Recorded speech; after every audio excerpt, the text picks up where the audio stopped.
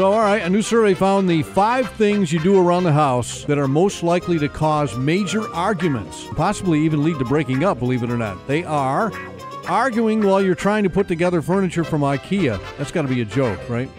Not mowing the lawn, that will get you into trouble. Not doing the laundry.